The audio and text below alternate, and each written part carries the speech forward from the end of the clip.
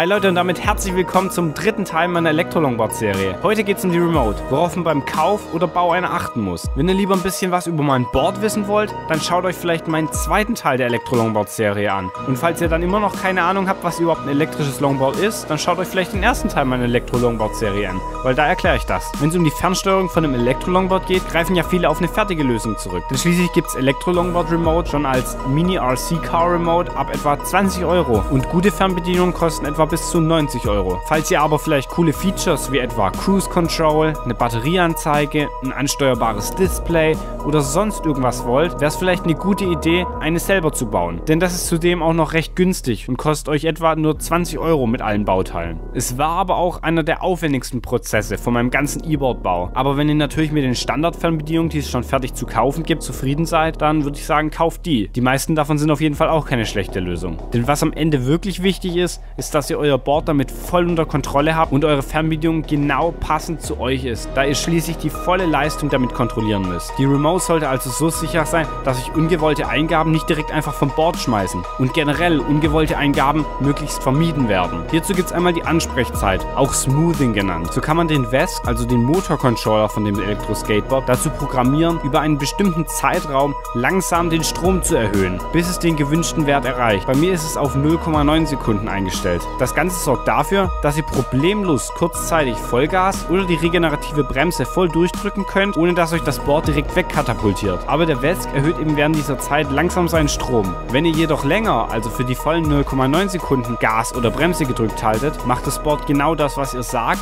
und rast mit voller Leistung los oder drückt die Bremse eben mit voller Leistung durch. Vor etwa einem halben Jahr bin ich mal das Boosted Board Dual Plus gefahren. Hab glücklicherweise beim E-Bike fahren nämlich jemanden getroffen, der das besessen hat und durfte kurz damit Probe fahren. Das hatte eine extrem hohe Ansprechzeit eingestellt. Man konnte problemlos Vollgas geben, obwohl ich noch nie vorher E-Skateboard gefahren bin und ich hatte wirklich nie Angst, dass es mich runterwirft. Ebenso war die Ansprechzeit für die Bremsen sehr hoch und es hat sich auf der einen Seite extrem weich und vor allem auch sicher angefühlt, aber gleichzeitig ist das Boosted Board eben auch nicht ganz so leistungsstark und ein schnelleres Ansprechen, also ein aggressiveres Strom geben, fühlt sich eben manchmal auch besser an als eine langsame Leistungssteigerung. Wenn man zum Beispiel an einem Berg schnell beschleunigen will und kurz mal viel Leistung braucht. Daher sind 0,9 Sekunden Ramping und 0,3 Sekunden, die das Board braucht, wenn man von der Bremse oder vom Gas runtergeht, bis es wieder bei Null ist, eine recht gute Zeit und sind auf der einen Seite relativ weich, sodass kurzzeitig viel zu hohe Eingaben einfach ignoriert werden, aber man gleichzeitig sehr schnell Vollgas geben kann, wenn man es mal braucht.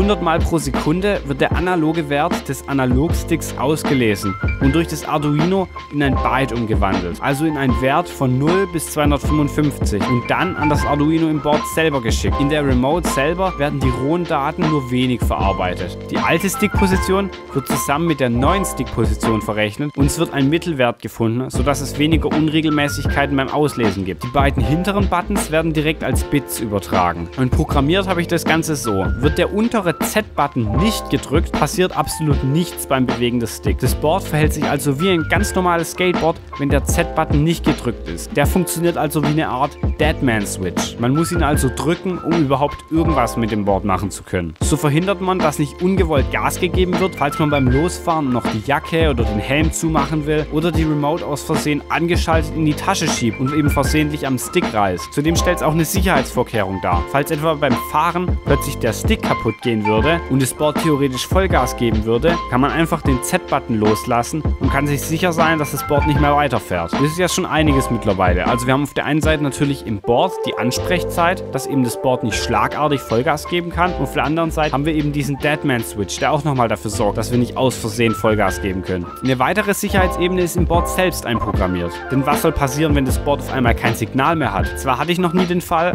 aber wird das Signal während der Fahrt unterbrochen, falls vorher gebremst wurde, wurde, wird langsam von der Bremse runtergegangen, sodass man direkt merkt, oh, da stimmt irgendwas nicht. Und falls Strom gegeben wurde, wird einfach aufgehört, Strom zu geben. Das stellt einfach sicher, dass man noch gut anhalten kann, falls irgendwas kaputt geht oder ausfällt. Ich würde es euch zudem noch empfehlen, falls ihr dies selber baut, das Signal etwas zu verschlüsseln. Muss nichts extrem kompliziertes sein, aber einfach so, dass niemand zufällig auf eurem Kanal was sendet und euer Board durcheinander bringt. Angeschaltet wird die Remote über einen kleinen Schalter auf der Seite. Als Energiequelle dient ein 300 mAh LiPo Helikopterakku, der eine Akkulaufzeit von etwas über 10 Stunden ermöglicht. Voll aufgeladen ist die Remote in etwa 30 Minuten. Das ermöglicht der TP4056, ein Lithium Charging Board, welches die Batterie auch vor zu niedrigem Entladen schützt. Der hört aber erst auf bei 2,4 Volt zu entladen, was eigentlich schon viel zu tief ist für einen LiPo-Akku. Deswegen habe ich mir noch eine LED mit einem 100 Ohm Vorwiderstand an das Arduino angeschlossen, die oben aus der Remote rausschaut. Mit einem Kommando kann man nun die Remote dazu bringen, in einer Reihe von Blinksignalen den aktuellen Batteriestatus zu verraten. Und ab einer sehr niedrigen Spannung leuchtet die LED einfach durchgehend. Es gibt zwar eine recht versteckte Methode, das Arduino dazu zu bringen, die eigene Eingangsspannung zu messen, aber die Methode habe ich leider erst kennengelernt, nachdem ich die Remote gebaut habe. Daher habe ich in meiner Remote noch einen recht teuren Boost-Konverter verbaut, der die Eingangsspannung auf 5 Volt anhebt. Warum ich das gemacht habe, ist ganz einfach. Damit der Arduino eine analoge Spannung messen kann, also eine Spannung, die irgendwo zwischen 0 und 5 Volt liegt, braucht er eine Art Referenzpunkt. Und als Referenzpunkt gilt normalerweise die Eingangsspannung. Wenn also die Spannung, mit dem der Arduino betrieben wird, genau die gleiche ist wie die, die er messen soll an einem analogen Port, geht es nicht,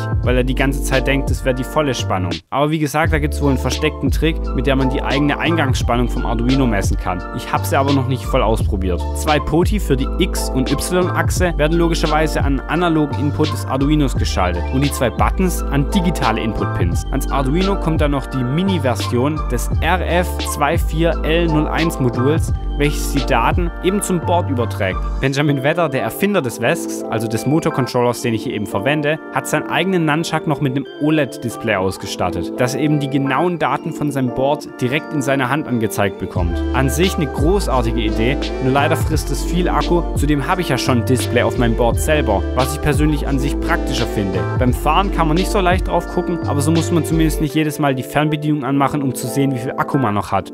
Ich glaube, das Wichtigste bei einer Remote ist vor allem das Fahrgefühl. Ich war mir am Anfang echt arg unsicher, ob es überhaupt nicht so eine gute Idee ist, den Wii Nunchuck zu verwenden. An sich ist es schon ein bisschen verrückt, mit einem Daumen auf ein paar Zentimeter Platz so viel Leistung zu steuern. Ich konnte ja schon mal das Boosted Board fahren, was eben 2,5 Kilowatt hat, also die Hälfte von meinem Board. Als ich damit das erste Mal gefahren bin, war ich wahnsinnig begeistert, wie weich und angenehm das Board beschleunigt und selbst bei Vollgas geben hatte ich absolut keine Angst vom Board zu fallen. Da meinst du nun mal das Doppelte an Power hat und auch etwa 50% schneller ist als das Boosted Board, muss man eben sagen, dass man ohne Drosseln der Leistung ein so sicheres Fahrgefühl eben nicht so leicht erzeugen kann, weil das Board soll eben nach wie vor die Fähigkeit haben, an einem Berg ordentlich zu beschleunigen und es widerspricht halt dem weichen und angenehmen Fahrgefühl vom Boosted Board, das eben nicht so schlagartig reisen kann. Dennoch muss ich sagen, Benjamin Wetter hat das Ganze großartig gelöst. Solange man nicht komplett ohne Reinlehnen Vollgas gibt, kann man das Board sehr präzise und vorsichtig steuern. Selbst komplette Neuanfänger können problemlos damit umgehen.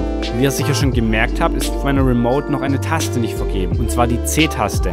Um die sinnvoll zu nutzen, hat Benjamin Wetter eine sehr geniale Funktion in den West Motor Controller eingebaut. Die nennt sich Cruise Control. Wie üblich, damit das Board überhaupt reagiert, muss erstmal die Z-Taste gedrückt werden. Wird nun die C-Taste dazu gedrückt, wird die aktuelle Geschwindigkeit genommen und der Wesk hält diese. Egal ob man jetzt einen Berg runterfährt und schneller werden würde oder eben einen Berg hochfährt und langsamer werden würde. Der Wesk regeneriert einfach, um langsamer zu werden oder gibt Strom, um schneller zu werden, je nach Bedarf. Zudem kann man mit dem Stick einfach die aktuelle Geschwindigkeit erhöhen oder eben reduzieren. Das Ganze macht es gerade für Anfänger extrem leicht damit zu fahren, weil man eben genau weiß, dass man die Geschwindigkeit konstant halten wird, egal ob es jetzt den Berg hochgeht oder runter geht. Ich persönlich nutze es vor allem gerade gern an steilen Bergen, wo man eben damit gemütlich runterfahren kann und Cruise Control extrem angenehm ist zu nutzen, weil ihr eben bei Variation der Steigung des Berges einfach nicht die ganze Zeit eure Bremskraft verändern müsst, sondern das Board das alles für euch regelt. Generell gewöhnt man sich recht schnell an die Steuerung und kann absolut sicher und schnell damit abbremsen, beschleunigen und was auch immer machen, was man will. Ich habe mittlerweile die Ampere-Limits im Wesk etwas runtergesetzt, weil ich gemerkt habe, dass ich die ganze Leistung von dem Board sowieso nie brauche. Aber es hat bei mir über 1000 Kilometer und viele, viele Stunden an Übung gebraucht, bis ich das erste Mal geschafft habe, den Stick komplett nach hinten zum Bremsen zu drücken mit über 2 Kilowatt an Ladeleistung und eben auch komplett nach vorne zu drücken mit bis zu 5 Kilowatt an Leistung. bei der Leistung ist es halt ein absoluter Balanceakt und beim Beschleunigen muss man sich eben wie so ein Sprinter nach vorne lehnen, sodass man nicht nach hinten umkippt. Und beim Bremsen sollte man sich eben auch nach hinten lehnen, sodass die Reifen hinten guten Grip beim Bremsen haben. Das Ganze klingt jetzt vielleicht ein bisschen schwieriger als es am Ende ist, weil beim Fahren ist es dann doch relativ intuitiv. Und es ist vor allem eigentlich der Part, der am meisten Spaß macht. Wenn man sich einfach nach vorne lehnt, Vollgas gibt und merkt, wie ein dieser schmale Kasten wenige Zentimeter über dem Boden einfach mit voller Leistung über die Straßen katapultiert.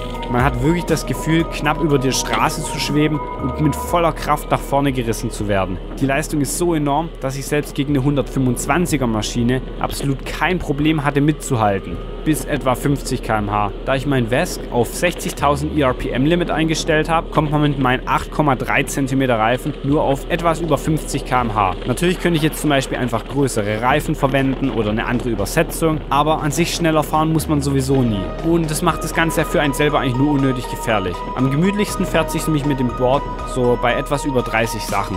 An sich kann ich nur sagen, das Board ist ein absoluter Traum zu fahren. Es fühlt sich wahnsinnig geil an. Board macht einfach so wahnsinnig viel Spaß zu fahren und ich werde auf jeden Fall noch richtig viel Spaß damit haben. Die nächsten Videoteile gehen dann um den VESC und meine ganze Software, die ich eben in mein Board einprogrammieren werde oder schon einprogrammiert habe. Die haben eben viele coole Features ermöglicht.